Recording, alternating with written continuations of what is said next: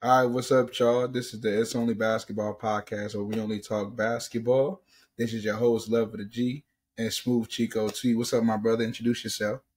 What's happening? My name is Smooth Chico Tee. Real name is Tion. I play basketball. I'm looking to do it professionally. Let's go ahead and talk about this stuff we got to talk about today. And I definitely want to get to that Maverick series because that was crazy. Yeah, yeah, yeah. So some of our topics we got, we talking about the game sevens that just occurred, uh, that you seen yesterday, the Mav series, the the Nugget series, the the Celtic series. Though we probably have skipped through that because they cooked up. And then uh, what's it called? The Knicks series, Knicks and Pacers. We based in Indianapolis, so that was one of the biggest series for us. Um, we're also going to talk about the eliminated teams, see what they can do, how they can improve their rosters, and then we also got uh, an event coming up um, for ourselves. We work together at CBG, and we got an upcoming event with Always Ways in this organization. This is for you, right? Now, before we get to all that, I introduce our sponsors for today. We have EPN supplements first. If you're looking for a product that can help you with your gains, that can help you stay healthy, or can help you shred fat while sleeping, go to EPN supplements. It's natural, organic it focuses on a holistic approach and they do not overcharge you. You will have to pay for a membership, but the membership is about $19 and then you can get food for free. If you use the code Omavi Banks or O Banks, you'll be able to get a discount on your purchase. Also, our second sponsor is Grip Spritz. If you're looking to have grip on any court that you play on at any time, whether it's outside, inside, old court, new court, overseas, back here in the States, doesn't matter. Spritz is your go to. They already work with some TBL teams and professional teams, and they also go perfect for this upcoming AAU season. So, you kids out there looking for a good product that can help you have grip early in the morning, that's your go to. All right, so first, let's talk about the game sevens. Tion, take it over. Man, it was I would say if we're starting with the Dallas series, it was the most unpredictable game seven that I've seen in a long time because I feel like going into that matchup, you know, the young Thunder, you know, they got the number one record in the West. That's not easy to do, especially with them being young. Chet Holmgren being his first year in the league, you know, that's a lot of pressure on him just to match up with people that's been in the league for a long time, like Daniel Gafford and PJ Washington on the other side of the ball. So just my first initial take on it, then we'll get yours my first initial take, I'm gonna be honest, I had OKC winning.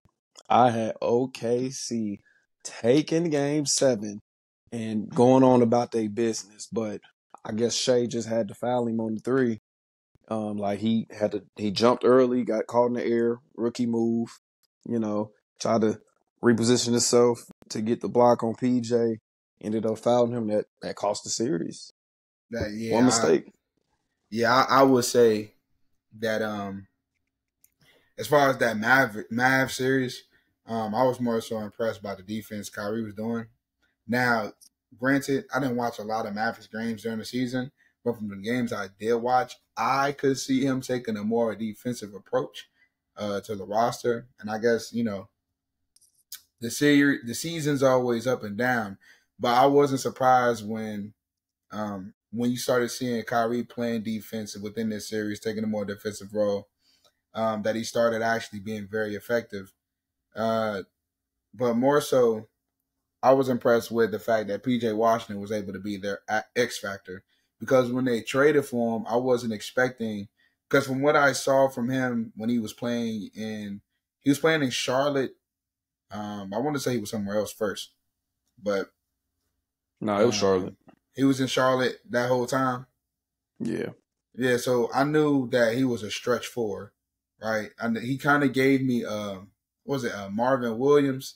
I don't know if you remember him, but number two. Had, yeah, when he was playing playing for the Hawks, he kind of yeah. his game kind of reminded me of, of Bro, you know, being a, a cool professional. But to see him go out there and he put up, because I think they won both games with him putting up 27 and 29 respectively. And then he came back in game five, I believe, and he was the leading scorer for the Mavs. They didn't win that game, but I'm saying um, his contributions. And then he hit the, the, the free throws to win the game. So, and with Luka not being 100%. But I, I believe that the Mavericks could win that series, though.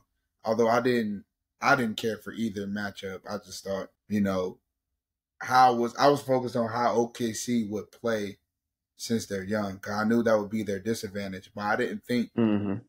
the Mavericks role players because I if you pay if you remember when the Mavericks made their conference finals run in 2022, their role players were very inconsistent. If they were at home, they were cooking. When they was away, they couldn't hit the side of a barn. So we're looking at that, and I'm looking at okay, OKC is one of the best home crowds. I thought they wouldn't, they weren't going to be able to perform to the level that um, they needed to for them to pull out the series. Yeah, I know. I mean, what do you think OKC needs to address for their roster? Because you know, four two as the one seed, kind of crazy in my opinion. Well, there it depends on what type of one seed they are. I see this roster's been together for like two or three seasons. This is really the first time this roster's well, if you're adding Chet Holmgren, you're adding Jalen Williams. Well, I mean Jalen's been on the roster for, you know, two, three years now. But I feel like going forward, if they need to address anything, they got the picks to do it. they definitely got all the picks from that uh Clippers uh OKC trade that happened with Paul George. So they need to address anything, they can definitely get it handled. So what I think they need to address, um, definitely getting moving Chet to like the four, and then getting a real deal center because Chet being the stretch five, but then he's also got to guard people like Embiid, guard people like Wemby, and then still have to produce an offensive I mean, end too. I That's just think gonna he be could guard Wemby though. I think he could guard Wemby. I'm not saying he can't can or can't guard anybody. I'm just saying that's going to be tough on him early in his career to not be to not have a a veteran center next to him that says, "Hey, when they do this, do that." You Nah, know. I, I kind of can see that. It's just like they need a another big body. Yeah, Um, but I think as far as for the way that they play, you got to run Chet sure. at the five, especially the way the game is now. Because when you think of Daniel Gafford, Daniel Gafford is really a four, um, not because of what his game say, but because of what his size say. Uh, pause. He's um, but he's he's um six nine, six ten. You know what I'm saying? So if I'm not mistaken, he's like so I mean he could jump and stuff, but six nine is a power forward size technically, and you're about two inches away from being a small forward. So it's like, I mean, it wasn't they weren't too physically imposing, but they were just strong enough. So to mitigate that, most teams you'll have, you need just need another guy that's like, um, a bruiser. yeah, you need a Charles Oakley, Like you need a, you need a Oak, you need a Oakley, Yeah, you need a yeah, Oakley. like Charles. They banned him from the New York uh, arena too, Madison Square Garden. Why they do? But- Why they do that? Why they Oh, you didn't see it? Nah. Note, just quick sidebar. He got into a fight with one of the fans in the crowd, and the security came over. And you know how In New York? get. Oh yeah, in New York, he's He got he's into a fight? banned for life. for life. Oh yeah, banned. No, they're not gonna ban no Oakley. It's a it's an old story, but like I just thought it was funny they banned it one of their legends. Well, oh nah, because he was just at the game in New York. yeah, he was I just a uh, you know what I'm saying, just watching and got into a fight. Yeah. Uh, but like I'm saying, they need a they need a Oakley or Anthony Mason. I'm throwing out old names. I'm trying to think of a, a modern name, but like, Derek Pat- Lively. Derek Lively was abusing them. but he's seven foot. I'm You know just saying? Like, somebody that can be an 7'1". enforcer though. Somebody like Yeah, but he like- just, he just needs somebody to learn from. I'm not saying that person needs to be a pivotal part of their roster. Somebody like JaVale McGee can come in and be like, "Hey, Chet, this is what it is." Nah, you gotta give you gotta give JaVale minutes. Cause I'm saying I'm saying like it don't gotta be a center. Like I'm I'm naming names of guys that's like six eight, six seven, six nine that um can be bruisers without you can you can run them at the four without moving Chet to the four. Cause if you get a five, because the, the the main reason for their success is because of course that young team in the running, like they're doing what Sacramento did when they was when they had Buddy Hield and Iman Shumpert when they was the scores. Like when it was like the scores is it you been to a scores game yet, etc. Right. I think that was like 2020, 2021, something like that. Maybe 2019. But they went 41 and Right. 41. And the main thing they were doing was just pushing the pace, pushing the tempo, like like, like the Pacers. But like you had Buddy Hield though, he was like lacing them mugs. He was averaging like twenty that season. Mm-hmm. It's more so like in order for them to play their style the way that they do, to utilize their speed, you have to put Chet at the five. If you put a, an actual five in there, it's gonna slow them down. It's gonna slow it down. Yeah, and Clark, because your best player um, is Shai, and he drives the ball a lot. That's he's dry. Even though he's not getting all the way into the paint, he's getting paint touches around 14 feet, 13 feet, 15 feet, um, and then slightly outside the paint, 16 feet. His game is predicated on him going downhill and utilizing quick stops, breaks, pump fakes, post fades. So he occupying the real estate. He's occupying the mid post, occupying the low block, op- occupying the elbow at times, depending on where you get him the ball at. So in order to maintain that level of spacing, you have to have Chet at the five. You move Chet to the four. I I don't remember. Like I said, I watched Chet Holmgren, but him at a five, he's a good enough cover on switches.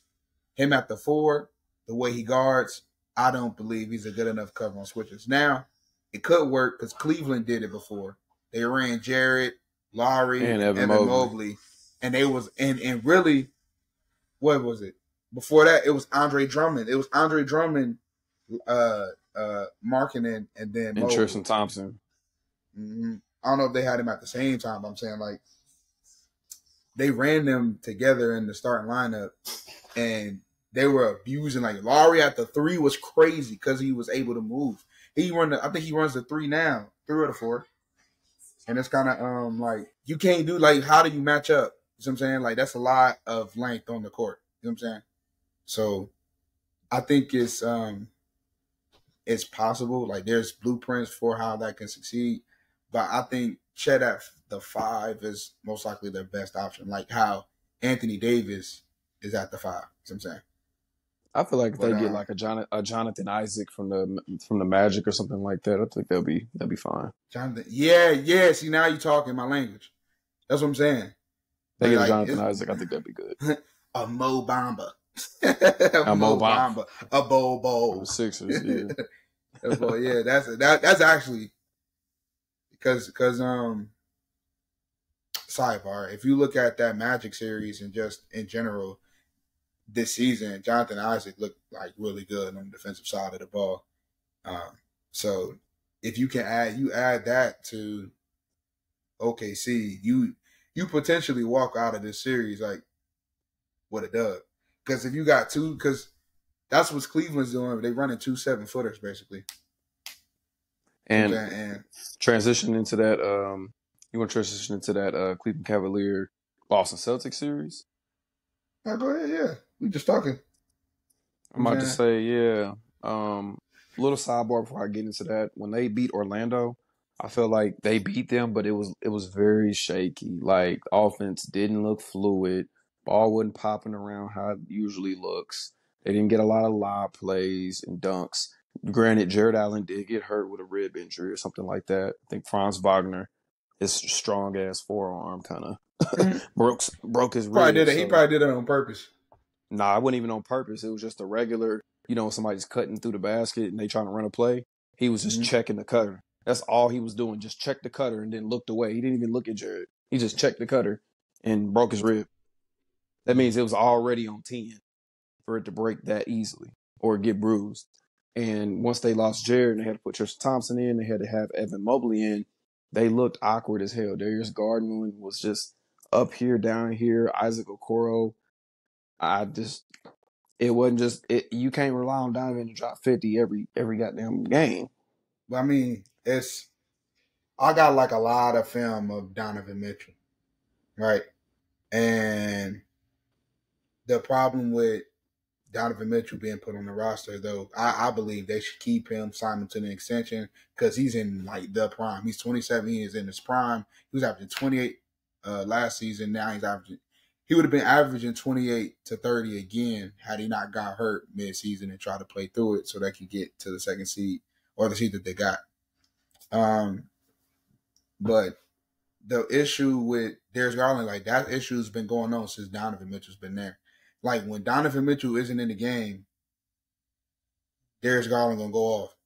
I think uh as soon as Donovan Mitchell was ruled out for game, what was it, three in the game four, he put up 30. You know what I'm saying? But the reason why they got Donovan Mitchell was because when you have just Darius Garland, you see it in Atlanta. Um, when you just have Darius Garland because he's like smaller, he's like a he relies on his shiftiness and quickness, his floater. Like he's not physically opposing. So you put a bigger athlete on him the whole game, it's gonna muck up the offense. And since he's the only one creating his own shot outside of Caris LeVert, Caris LeVert can't run an offense for you. Garland can, but he has to do that the whole time in order for you to stay afloat. That's not gonna work. So I'm saying so they got Donovan Mitchell to kind of remedy that. But what ended up happening is that Donovan Mitchell also doesn't play off the basketball. If you watch him in Utah, even though he was uh the considered the two, right? He plays off ball sometimes. Like Mike Conley became the two when Mike was there because Donovan always has the ball. And they got Mike Conley and Ricky Rubio in Utah to help mitigate Donovan always having to initiate the offense when I think they they lost to the Rockets. And I think when they lost no no Mike Mike was there when they lost to the Nuggets. But yeah, like having Ricky Rubio and Mike Conley there was supposed to mitigate him always having the ball. But he's just like a ball dominant player who shoots tough shots. He and he mm-hmm. doesn't use he doesn't use his size either. Like even though he's six one, he's a big guard. You know what I'm saying? Like he's like mm-hmm. he looks really big. You know what I'm saying? Pause. Like, all right, bro, chill, chill with the pause, um, bro, chill with the pause, chill with the pause, bro, chill with the pause. Why'd you put more emphasis on it? I heard you the first time, really big. But cause now I'm saying, I'm saying, I'm saying like he's he's like I want to say he probably two he's six one two thirty with a six ten wingspan, and I don't see him utilizing the mid post. You know what I'm saying? I'm not. I don't see him doing post face when he gets the ball to attack. It's always I, I ain't gonna say always, always, but it's always him getting the rock, and he's breaking down his defender either off a of pick and roll or off of isolation, or he's coming down, he's shooting a quick three, or he's doing his um, snatch. You know what I'm saying? So that's why I think it kind of made it, it it prevented the growth of Garland because Garland can get you 22 to 23, right? But instead of seeing him blossom further, it kind of just holding him back because he's deferring to Donovan. I'm saying, but like I can see that, yeah, yeah. But when it comes to that series with the Magic, I mean, the Magic was one of the best defensive teams this season. I think they were top five, and that's the reason why they were the fifth seed in the first place because their offense wasn't very good because it's Paolo or bust. You know what I'm saying? But they were so they had the ability to switch it up. So it was like two top defenses going at it. Think like Pacers and Pistons. So once you got a certain threat, get to a certain threshold. I mean, even but even last season though, it was kind of similar it's always it's a, the reason why you have Donovan is because it's gonna be Donovan or bust. Like when it gets tough, the lack of experience a lot of these Cavaliers guys have in the playoffs, it always turns into Donovan or bust. And when you're Donovan Mitchell, it's like, am I gonna play the same way I do in the regular season? Like giving other guys a chance, playing passive, or when I'm seeing they they not looking confident. Am I just gonna start just trying to take over the whole game? And with him having the ball, it's like you are at his mercy when it comes to how he's gonna decide what he does. You know what I'm saying? Um, because even with him dropping 50, they lost that game. You know what I'm saying? They did. Yeah, they lost that game with him putting up 50. Now he was eating. They lost that game. You know what I'm saying?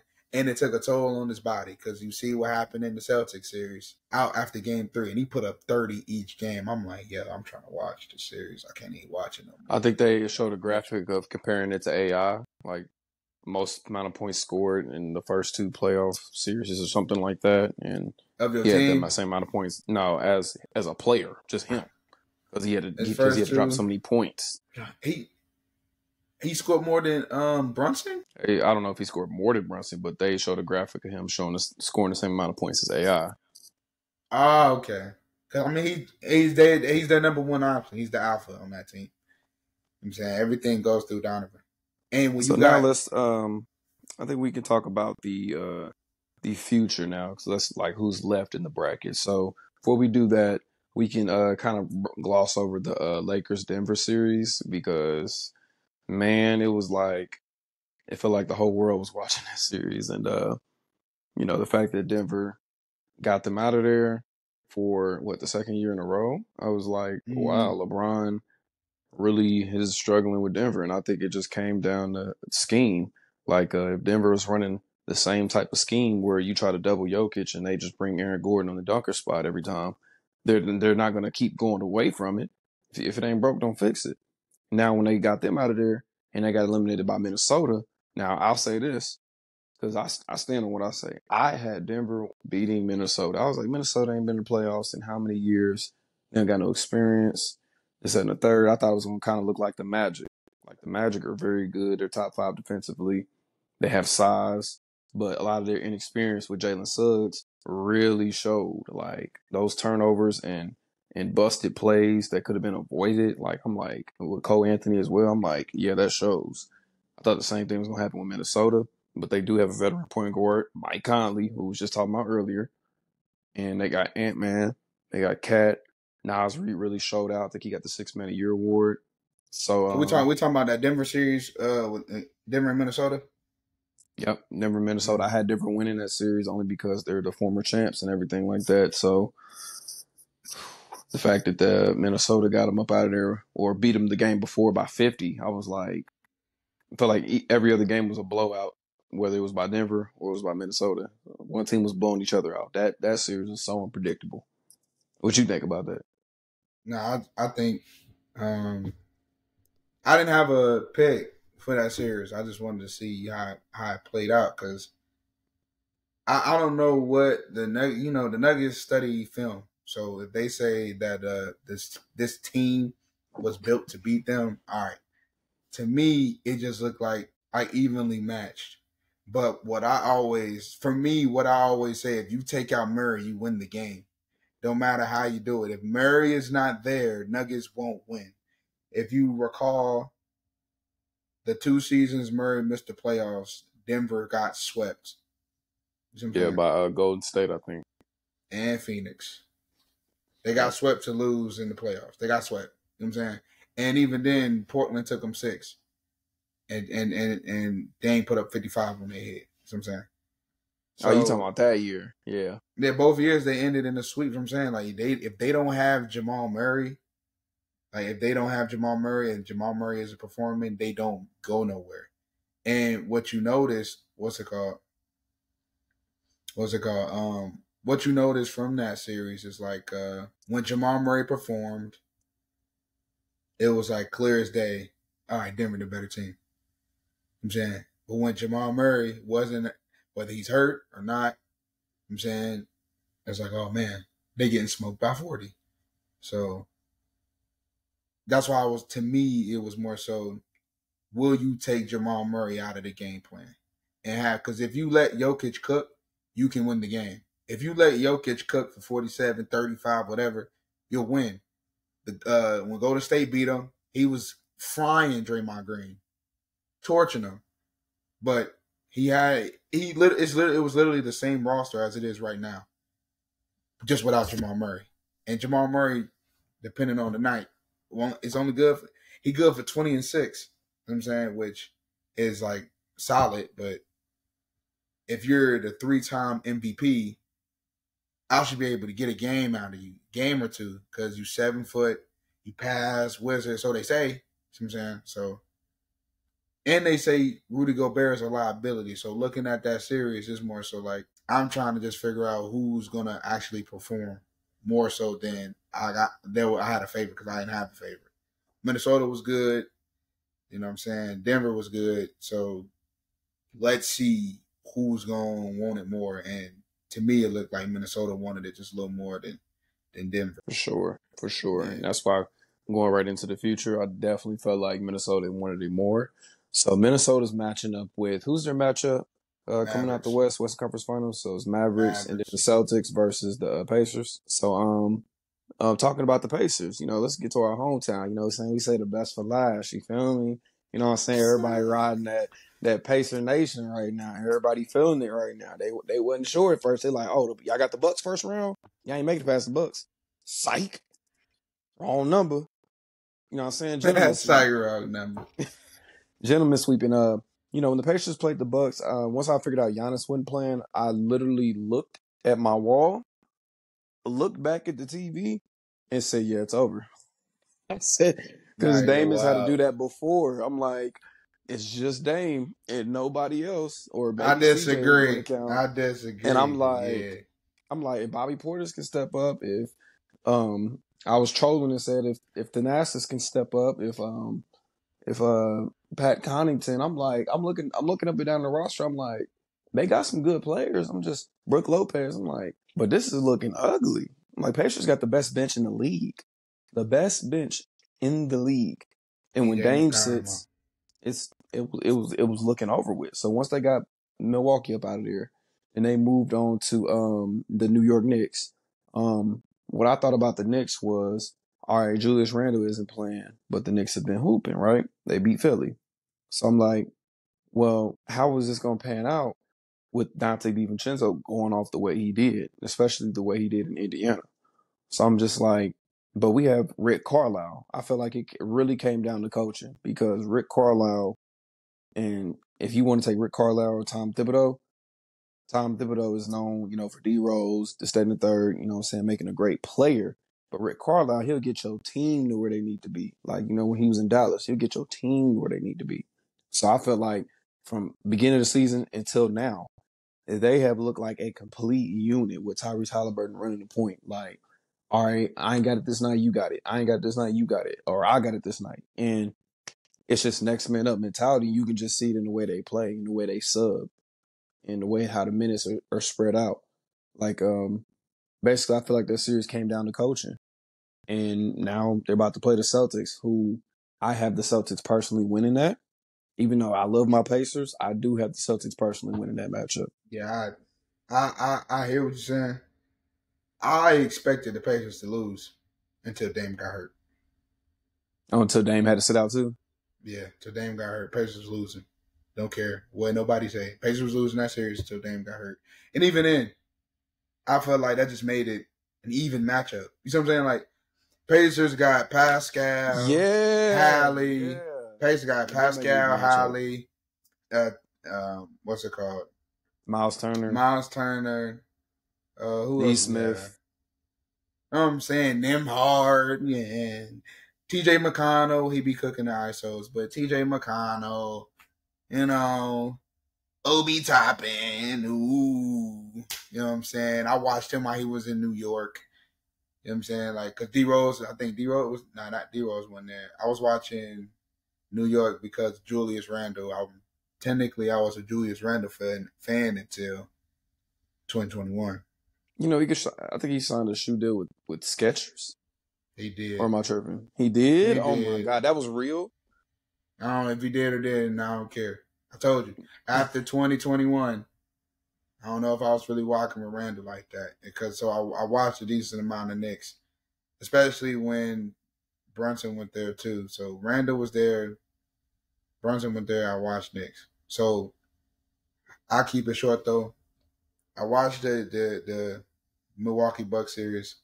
I thought Milwaukee would win that series. Pacers win. Okay, cool. Mainly due to injuries. That's fine though. You know, we go to the Knicks series.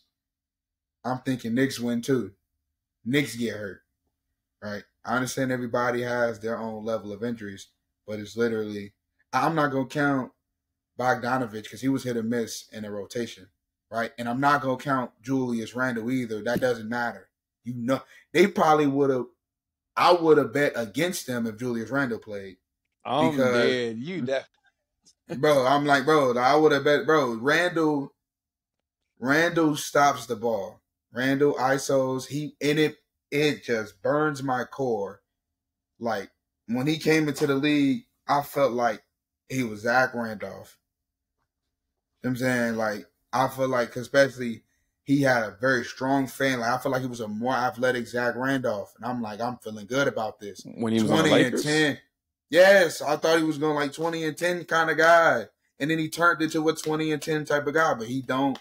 He not Zach Randolph. Zach Randolph put out San Antonio as an eight seed, and then Zach Randolph took his team to the conference finals in 2013. You know what I'm saying? Zach Randolph was busting Timmy tail. You was not checking him. And I look at man, it was so crazy. I watched that Hawks series and they completely shut down Randle. For context, Randle was average. This is his first his breakout season after his first season in New York. Well, I was expecting him to break out then, but he's a black hole when he gets the ball. You know what I'm saying? That's why he had to leave um, the Pelicans, even though he was putting up like 21 and 11. He was a black hole. I thought Yeah. he left the Pelicans because of that whole Anthony Davis situation. Nah, bro, he a black hole. he's a He, black he hole. is that. No, he is The that. ball, when the ball gets to a hand, it dies in his hand. You know what I'm saying? And I'm like, he always, yeah, bro.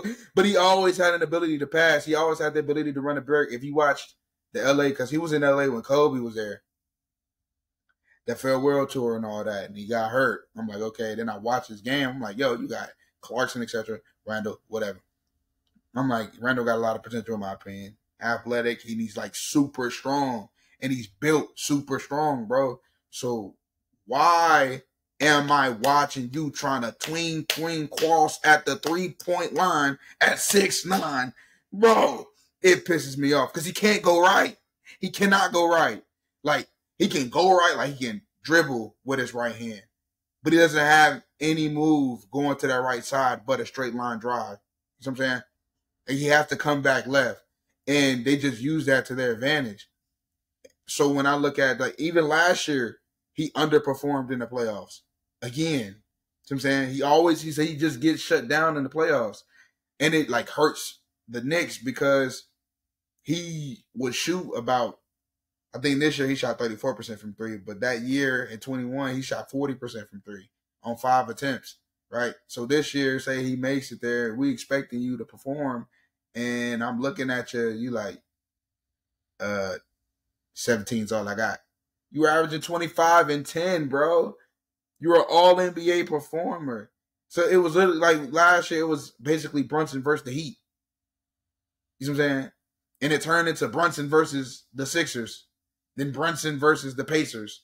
But Brunson's hurt. You know what I'm saying? So yeah, they, the Knicks, the Knicks series, man, was a wash. I expected New York to win. I wanted New York to win personally because Brunson was the starting point guard. Yeah, Brunson's been been balling out in his Yeah. mind. And just kind of piggyback off that, I think I started to notice that Randle was a was a black hole, what you call it, a ball hog, was when a Nah, I I ain't gonna say a ball hog, but a black hole for sure. black hole. Yeah, I ain't I think the he ball had uh, a game winner, and uh, he was like fumbling the ball. Jimmy Butler like poked it out of his hand like three or four times. It's like a whole nother. Uh, I think Duncan Duncan Robinson or um, Tyler Herro was coming over to rotate, like you know when they show. They was Mhm. coming over to show. As soon as Jimmy Butler poked the ball, they had to come over and help. He got the ball back, wrestling with them, lost it again, threw it up on the three point line, threw it up, and went in. He hit the game winner. I'm like, I guess he think he liked that now. Boy, you almost, boy, you almost sold the game. Almost cost him the game. Yeah, he did. And you know who else picked up that bad habit? Who's in Toronto now? Quickly, Nah, the other lefty. Barrett. He always RJ played like he always played like that. He always played like that. He When always, Zion came in, bro. bro. He always played like that. RJ Barrett. That's what I said. I watched New York games for real because they had. I watched them because they had Derrick Rose the first stint. Then I watched them again because they had Derrick Rose in the second stint. But I was also watching them because Tom Thibodeau, the coach. So I'm a. I was a Bulls fan growing up because my father made me be a Bulls fan. But I actually really enjoyed those times. And so when I saw that Tom Thibodeau was the coach, I'm like, bet that. See what I'm saying? Uh, because I was a fan of Minnesota while Jimmy was there because Bulls and Tom Thibodeau was the coach. I'm like, yep, Minnesota going to the playoffs. When Tom Thibodeau got hired into New York, I'm like, yep, New York's going to the playoffs, and I'm expecting Julius Randle to perform so it doesn't have to be Derrick Rose versus the Hawks. Pissed me off. So I was upset highly as uh, Julius Randle because Derrick Rose ended up getting hurt in that series because he was Tom Thibodeau basically was like, take us to the promised land, Derrick Rose. I'm like, he's 32. what are you doing? He has knee problems. It's about to, and sure enough, I'm like, he came out, I think game four in the second half, he was hooping, but then he started struggling out of nowhere for no reason. I'm like, something wrong. Then it came out, he was hurt. So, and he barely got to play game five because he was hurt. So yeah. with that, with that though, I think for the Pacers, um, congratulations to their success. What they might have to do with Boston is that they gotta play. I'ma outscore you. you know I'm saying they gotta play the I'ma outscore you game. You gotta attack Kristaps Porzingis number one every early and often because mm-hmm. when you mm-hmm. make when you make Kristaps unplayable, it kind of mucks up the way they have to play. Um, number two, you have to get Jrue Holiday off of Halliburton. So I'm gonna put say you put Jrue Holiday in as many screen actions as possible. Start TJ. You can start TJ McConnell or give TJ McConnell and Tyrese Halliburton a lot of minutes. That way, you can put Holly off ball. You know I'm saying he can weaponize his jumper and um his gravity, and TJ McConnell could get him the ball um as well. So I'm saying without because because again defensively Indiana's never been has not been good. You know I'm saying? And it's really been looking like Pascal is their best player as well in these series. Because uh, I ain't gonna say a lot of the games, but when I was seeing in that that Buck series and within the previous series that we just witnessed, Pascal remained consistent. And I'm not really a Pascal fan because you know what he gonna do when he get the ball. He's spinning. At some point in time, he's spinning. It don't matter what he doing. He going to spin. He gonna spin. he's spinning, bro. So it don't matter like whatever it is, bro. You know the spin coming. But I respect his game. I respect his defense. That man could be inbound on the ball. He gonna spin. He's spinning, bro. He's spinning. and you and you can see it from a mile away. You can see it from as soon as he get that ball on the low post, mid post, he's putting it down right. All right, because I, I didn't I didn't really watch a lot of uh, Siakam. I did kind of did do once Indiana got him. I was like, oh, he was a two time All Star. Forgot about that. But when uh, All NBA Rico performer Hines, as well, yeah, All NBA performer as well. Performer as well. Like, okay, Siakam. But then I watched the Rico Hines runs, like uh, because it just came up in my suggestion. I'm like, man, is this man Siakam going? He gonna shoot a mid range every time? Every time, bro. he He's gonna spinning. spin and shoot a mid range every He's time. He's spinning. He's spinning. There's no. Like, boy, we know you're not passing it. No, it go, the ball goes there to die. I'm trying to tell you, these guys, man, these guys. I thought Pascal was a good pickup, and he could kind of stretch the floor, but bro, he's spinning. I like that he has size though. He can definitely um stretch the floor out. I mean, not on the three because you know that's hit or miss. That's 50-50 with him, but I do feel like the um, Pacers do have to go at Kristaps Porzingis for sure. Chris Kristaps cannot guard, bro. He's gonna shoot a three, and he gonna maybe play some defense, but he's not running the floor miles. Oh, oh, oh, Hold on now. I'm not taking Chris Kristaps slander. I'm not taking Kristaps slander. Kristaps. Talking about he ain't gonna do nothing. He Hold just on. had so many injuries in the past couple of years. That man is not what he used to be when he was in New York. I know you. He can shoot that thing though. Did you not see like him? Did you not pay attention when he was in Washington? He had one of his best seasons. He's coming off of Washington, that. yes. You did I'm you pay attention? Though, he had I'm one of his best though. defensive seasons, and he carried that into this year as well. Like I ain't did I'm not taking. Well, well, Miles led the league in blocks before, but you said the Pacers don't got no damn defense. So it's it's it's kind of like what do you what is your individual thing? Like I'm I'm basing off who they're matching up against right now and what right. the Pacers should do. You, you don't want to go at Jayson Tatum. You're not going to go at Jaylen Brown. You're not yes, going to go at Jrue Holiday. You are going to go at Jayson Tatum. You're going to make Jayson Tatum guard, even though he's just going to run you into Kristaps. Yes, I'm going to make Tatum guard. What? I'm making everybody guard. That's the point. You got to outscore them. We running you out the gym. As soon as you miss or whatever, like, bro. And the way to start that is to go at Kristaps, bro. Get the switch and see what he's talking about. If I'm he's talking you, about something, next in line. If I'm saying you would go at Tatum, because you have Pascal. You know what I'm saying?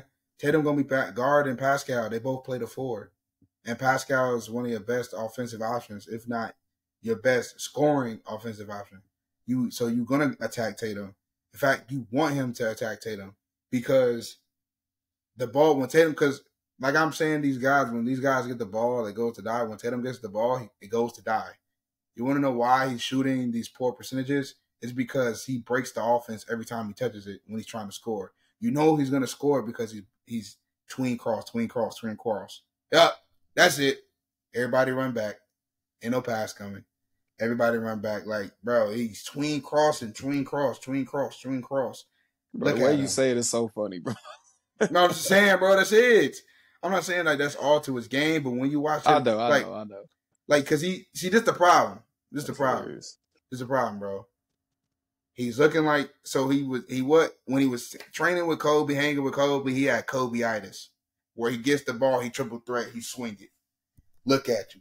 You know, he jab step. He, he has he, you know I mean, pull up J long two, you know, he misses. Okay, whatever. Miss or hit, you know, one of the two. Right? He paid he spent a lot of time with Paul Pierce in the offseason and he's still been so the influence, in my opinion, is showing because I watched film on the 08 Celtics playoff run, and when Paul Pierce get the ball, it goes there to die. It looks so out of place. The Celtics might be a hot take, but the Celtics ain't win because Paul Pierce. They won because of KG in the front court. Like their front court, literally, if the offense broke down outside of Paul Pierce one four flats, which looked hard to watch, bro, they're picking popping you to death, pick and pop or pick and roll. And if they miss the roll, they getting the rebound and just doing the putback. Bro, they had Glen Davis, they had KG, Rondo. they had Leon Powe, uh, they had PJ Brown. You know what I'm saying? And then you can consider Paul Pierce because he's a front court player. You know what I'm saying? But that front court carried that playoff run, bro. I'm telling you, it carried because every single player. Oh, and they had Kendrick Perkins. Can't forget Rondo. KP. Yeah. I'm saying they front like they front court. These are six front court players, and at least five of them can pick a pop. So when you got, like you said, Rondo, you feel me? He can he can dish that. Yeah. It's literally they're just killing them from the mid range, bro. Just killing them, killing them, like pick and pop, bro. And then the offensive flow smooth, pass, pass. You know what I'm saying? It gets to Paul Pierce, hang tween, hang tween, step back on the elbow. You don't know if he's hitting or missing. Like, bro, I'm saying, bro, I'm telling you. And when you watch Jayson Tatum, right, everybody else is performing, but you see him shooting these horrible percentages, right? They did go against um who was the who was the AFC this year? Uh Miami. That's a really good defense. And then they went against Cleveland, which is also a really good defense. But why are you the only one struggling against these defenses?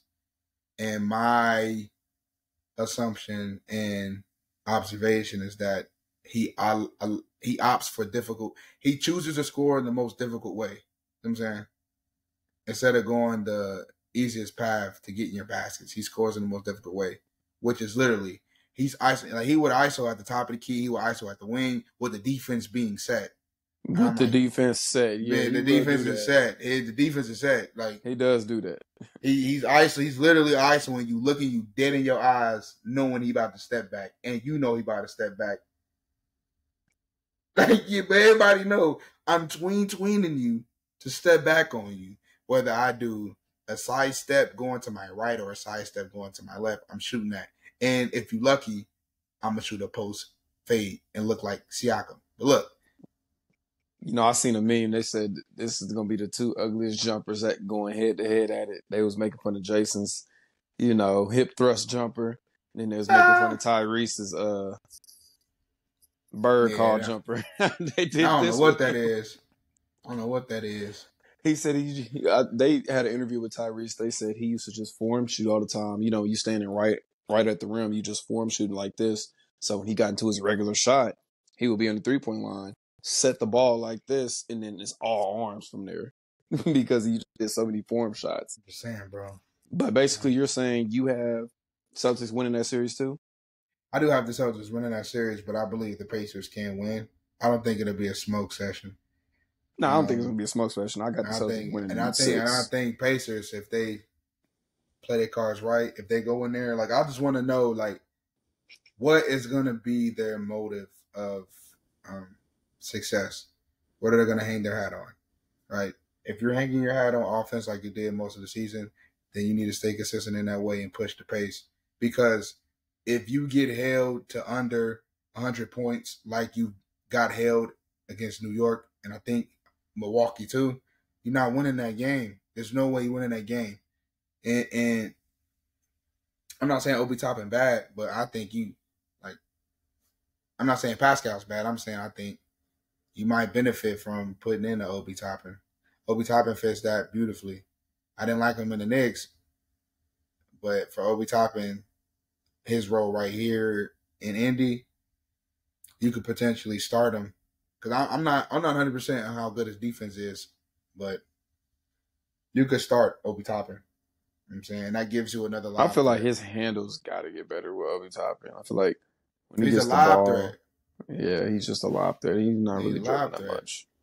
Because But Miles Turner, shoot, he's stretching the floor. yeah, You know what I'm saying? So I'm not expecting Obi Toppin to just straight up shoot jumpers. But like you know how Gary Payton for for the Golden State Warriors play, I think Obi Toppin can do that similar role. Because I can't even tell you who's their small forward. You know what I'm saying? I don't know who their small forward is. Who is their small forward? It's uh Jackson to do with the dreads. You know what I'm saying? You playing who was it? Tyrese and then Nembhard and Jackson? Yeah, Right, you got two guys. It's like who? You know what I'm saying? Who? chill, chill. He's Who? And then and then you don't even have Bennedict Mathurin. yeah, he's hurt. You know what I'm saying? Like, so I my like my thing would be because you have so much talent, right? I don't know if it'll deplete your um bench, but you gotta run McConnell. You gotta run heavy minutes with McConnell and Obi in the game. Because Obi's gonna give you rim pressure and McConnell can break down the defense and give you rim pressure as well, which then allows Tyrese Halliburton the spacing and opportunity to um play. Because if I make it so that I'm struggling to guard a Pascal or a McConnell, right? I'm not gonna put. I may end up moving my best defender from Hallie and putting them on, say Pascal or McConnell. You know I'm saying so. The only thing then would be McConnell's stamina because he only played 18, min- average 18 minutes this season, and was still putting up 10 points. We really, really, this is the battle of the backup white boy PGs. Peyton Pritchard and CJ McConnell. Bro, I can't tell you the difference between the two of them. I can't tell you the One's difference. older. Nah, man, I can't tell you the difference. I will say I think TJ probably better. yeah, Uh, Peyton Pritchard. He's not. He's he. Hey, he just got on, here. man. You know. No, we didn't. I'm not saying Peyton Pritchard. he's 26. He's not as experienced as TJ though. He's 26. He's not as experienced as TJ. He's not as Your point he's blank. 26. TJ McConnell's not 26. I'm talking about Pritchard. And I'm saying Pritchard is not as old as McConnell. So Bro, McConnell has more experience. Five year difference. I agree. What I'm saying, bro. okay. I'm saying, bro, like they're playing the backup role, and they're almost like the same player. See what I'm saying? They are And the they same do similar- though. That's funny though. That's my point. That's my point. Like it's like, bro, you look at the numbers. That's funny. You look at their play style. I think McConnell plays uh, better defense than Pritchard though. But oh yeah, them inbound steals be killing yeah. I, I I I think McConnell plays better defense than Pritchard. But I'm saying it's like, bro, I'm looking at the same thing. 10, 3, and three. McConnell is 10, 5, and three. Like, it's the same. I'm getting the battle of the back of white boys. Who's gonna Who's gonna dominate? Who's gonna who's step gonna up? dominate? I ain't gonna lie, that might be the dominate. difference in the series, too. You know How the? Benches is gonna perform? Yeah, because if I, that's the thing, you gotta, you gotta tire out Boston. You know what I'm saying? So and then it caused them to make costly mistakes because you're used to playing that up tempo style. And my point is, right? If I'm gonna attack you using that up tempo style, I'm putting in McConnell and Obi for heavy minutes because McConnell is the short, quick, and shifty guard that's gonna run. Halliburton, you already know what he do. Obi Toppin gives you that lob threat, and Obi Toppin is not really a four; he's a three. But they put him at the four because he can't handle the rock. You put him at the three ish because he's really going to be running the four out there with Pascal and Miles Turner because the way that Miles and Pascal operate, they operate like perimeter players. Miles is staying at the three point line. He's not going in there. He only averages Mhm. like seven to eight rebounds, maybe nine. I give him nine, but he really only averages seven rebounds. Pascal only averages about seven to eight, seven to nine, nope, seven to eight rebounds. You know I'm saying, and Pascal is really a three because it was said he was six eleven initially, but when they redid heights, that man is only six eight, six nine, bro. He's a three. So I'm saying like, so Obi Toppin will be able to occupy that pick and he can occupy the dunker spot essentially because Miles is going to be at the three point line. Pascal will be somewhere between the mid post or the three point line. Hopefully he isn't. and so Obi Toppin can be on the uh, dunker spot catching lobs, um, primary uh, on ball screener for the pick and roll to get the lob, and he could also get the backdoor forty five cut if he's in the game. So for for Boston though, um, you just need better games out of Jayson Tatum. You got to get him to buy into the system and get easier looks because it's looking Mhm. like how many series are you going to get from Derrick White? Derrick White, where he just frying boys. I mean, yeah, he's been on a tear, but Like he averaging like yeah. Folks talking about Derrick White or Jaylen Brown, who's the second best player on the Celtics, when really it's like it's Jayson Tatum, the third, fourth best player, because he ain't hooping. You see the percentages, bro. You can look at the numbers, bro. He not hooping. He not hooping. man definitely got locked up when they played Miami, and I was surprised that Miami won that game on the road. No Jimmy Butler. I said, wow. Historic shooting night. I said, wow. that made me right there. It was like, okay, this is going to this playoffs is going to be so unpredictable. That's why this Mavericks Minnesota series, I'm like, you know what? I'm to stick with I'm to stick with if I had to choose a team to win that series, I'm sticking with Ooh, this is tough. Who you picking? The Mavs? Mavs versus Minnesota. Who you Mavs got? versus Minnesota. Uh, who am I picking? I don't know. I, I want to root for the Mavs and Minnesota, so I don't know if I got to pick, but um, I'll go Mavs for Kyrie, bro. I'll go Mavs for Kyrie. I don't want. I don't necessarily want Luka to have a ring, but for Kyrie, bro. But see, Mike Conley. I also like my, watching Mike Conley, so I don't know. I don't have as many hours of film of Mike Conley like I do Kyrie. Like, bro, you can find so many, bro. But I like Mike Conley too. So, and he's from here. You know what I'm saying? He from Indianapolis. So I, I, I, I'm still go Mavs, but I, I would want to see Minnesota win too. I think I'm going Mavs because they've been to Western Conference Finals before when they had to play the Warriors, and uh, I feel like they're coming back with a uh, with a vengeance. They're coming back with a different uh, look team. Um, I feel like yeah, that'll, that'll go great. Um, Jason Kidd, he knows what to do. Like the schemes he's been putting together, it's really just gonna come down to defense. Like they're gonna put up big scoring numbers, like on each side of the ball. Like KAT, Naz, Ant Man, Jaden McDaniels hitting his corner threes, you know, stuff like that. Um, you know, on the other side of the ball, you know, you obviously got Luka, Kyrie. Like you said, Kyrie's been taking a more of a defensive role. Mhm. So he hasn't been really putting out that scoring output that he can because he's like, all right, the team needs something different from me. And if we're winning games, let's keep doing that. Because I noticed he, I think he only had like four points in that whole third quarter or something like that because he was just going with the flow of the game. He's like, Kyrie? I don't, yeah. Mhm. He's like, I don't need to break the offense to go to go say I had 27 and we fucking lose. He's like, you know what? We need something different. I done been on this road before. I'm a vet. So, you know, Luka, Kyrie, Daniel Gafford, PJ Washington, if he keeps hitting his shots. Um, a dark horse you might see come out, maybe Maxi Kleber, if they if they need for space the Mavs? that yeah, if they need space the floor that much. Yeah. Th- that rotation um, didn't do well in the season. Yeah. That rotation when they would run Maxi at the five, that that didn't do. That was terrible.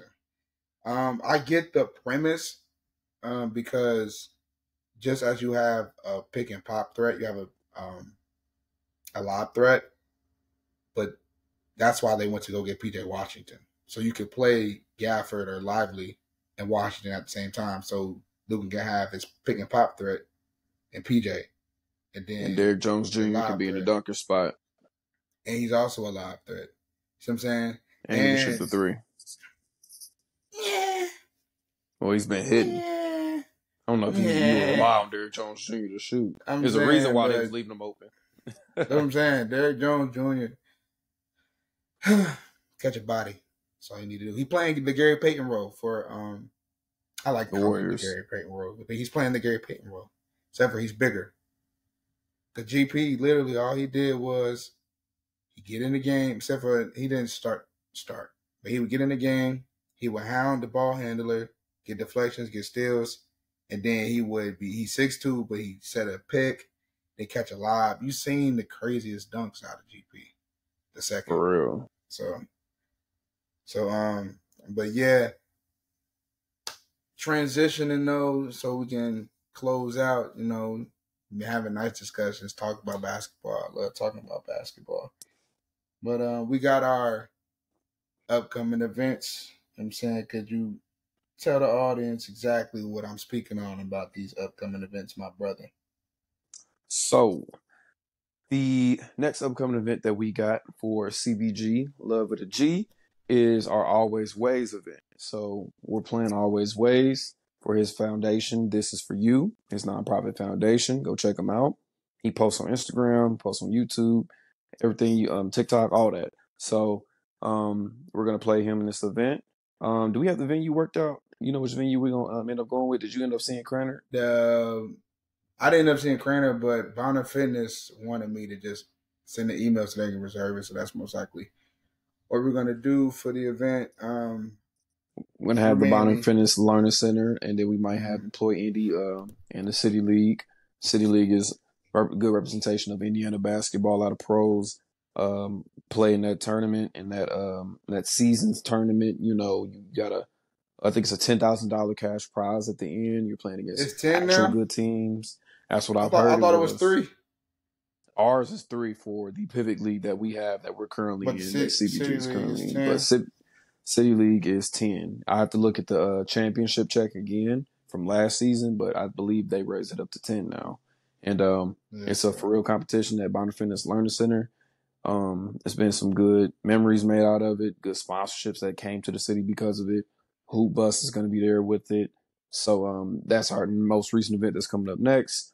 After that, we're going to head over to Charlotte because we trying to play them twins. we trying to play them next chapter boys. we trying to get this done. I think we're going to turn it into a three on three series. Um, we're going to bring our three versus their three. And um, we're gonna put money up, obviously, because then ain't nobody playing for free. Uh, we're gonna put our money up, and uh, we're gonna see if we can take their bread. Yep, and then lastly, uh, we're looking to start a professional team here soon. So any partners that will be willing to invest to come along. If you're a player, you can invest, and we can guarantee you at minimum a practice squad spot, but at maximum you'll be able to start for the roster. Um, if you're looking to take your game to the next level, to see or test your mettle against actual professional talent, D1 elite talent, uh, you should try the TBL, and this opportunity may be something for you. Um, the TBL was the second most largest um, league within North America. They've combined with the Canadian Basketball League, and they've put forth the most players into the NBA G League or the NBA. So they promoted the most out of any pro league you will find in North America. So basically, what I'm explaining to you is that outside of the NBA and you want to stay close to home, TBL is the way to go to get to the NBA or to get to overseas. You had guys like the Crime Stopper, Crime Stopper, Akil Carr playing within the TBL who formerly played in the G League. Um, you had guys like Andre Owens who played in the NBA, start up his own team and coach uh, for the TBL. You know what I'm saying? You got the number one draft pick, Kent, Kent Benson, who started up his own team within the TBL, utilizing his connections and etc. So, um, you got a lot of guys that are able to play at a high level within this league. So, if you're interested, um, of course, you can DM me or Chico Tee, um, so you can get more information. We can get that opportunity set up out the way. Lastly, you got any shout outs? You want to shout anybody out in particular who we working with? Man, shout out Star Kid Apparel, shout out Grip Spritz, shout out Craig Porter Jr., Man, shout out CBG, of course. You know what I'm saying? That's us. shout out Love of the G, man. Shout out the Pivot League for giving people, young people, our age group, 18 to 24 to 25, you know, opportunity to get a job and to play basketball for money and have everything set up. Like they're giving us young people opportunities. Shout out Pivot League for that. Shout out the City League, of course, for bringing basketball back to Indianapolis where it's supposed to belong. Like we are a basketball state. We have a lot of colleges here, Purdue, IU, IUPUI was about to turn into something else. You know, shout out, shout out into City League. That's what I got to say about that. Shout out my boy Austin who run the City League. Uh, last but not least, uh, shout out my Dukes. You know, got to shout out my Dukes. shout, shout out my pops. my Dukes. You know what I'm saying? Shout out my dog yes, Oreo. Sir. I might show y'all Oreo at the end. Nah, I ain't gonna show them Oreo. Nah, you wildin', bro. Nobody trying to see the dog. They ain't trying to see my dog. See the dog. Shout out Dame. And then, you know what I'm saying? That's all I got to say. Yeah, uh, like I said, I shout out um the City League as well for creating the Pivot League in the first place. Um, they give opportunities to em- employ ages 18 to 24, give them career opportunities so that they can make something of their life. Because mm-hmm. the important thing for us with Love of the G, um, CBG, and This Is For You Foundation with Always Ways we're looking to build a community. We're not just trying to play basketball for basketball's sake. We don't want you to leave with basketball on your mind and nothing else. You can be beat. You can be more. You can become more. You can do more. Uh, shout out to the City League for that, and also shout out to the City League for allowing me to pass out harm reduction um, products like naloxone, um, fentanyl test strips, xylazine test strips helping but improve Marion County as a whole. Um, just again showing why um, you can use basketball as a tool. It's not a way out; it's a way in. it's not a way out. It's this a guy. way in. it's not a way out. It's a way in. It's a way in. yeah, bro. I ain't gonna lie to you. Uh, shout out to Stunner Boy. You know the homie, one BA Mike, the big homie. Shout out Mike. Uh, shout out Keon. Um, you know what I'm saying? He a trainer within the Indianapolis realm. Shout out Turtle.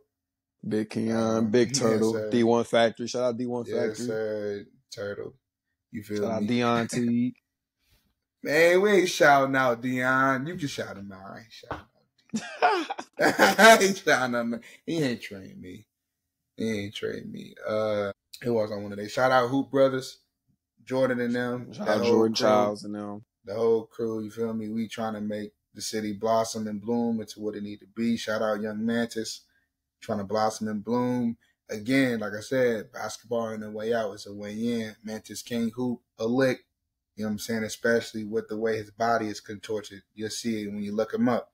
But he still is enthused about the game and he's used the game to build his own platform. So you gotta respect the man for grinding and still putting in more hours than your favorite hooper's favorite hooper. You See what I'm saying? Literally. He locked, shout he, he locked shout himself. Friga for that too. Yeah, yeah, yeah. You got to shout out Friga. You know what I'm saying? Gave Coming to the city. He did not have to. but yeah, you know, I think that's it. You feel me? So this concludes the first episode with Chico as a host of It's Only Basketball. I like to say that it was successful. We had a good conversation. You know what I'm saying? Any closing remarks? Nah, no closing remarks. Uh, be safe. Y'all be blessed. And uh, just keep hooping. I bet that.